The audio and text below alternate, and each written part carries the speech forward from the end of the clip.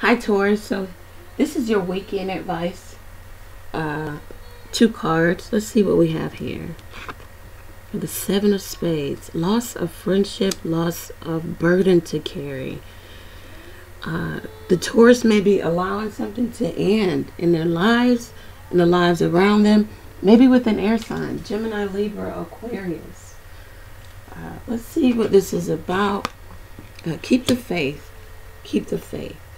Um, there also may be secret plans. Um, this they there looks like it gets revealed. If someone's to be deceitful, being a liar, being a cheat, and they have secret plans, Taurus, um,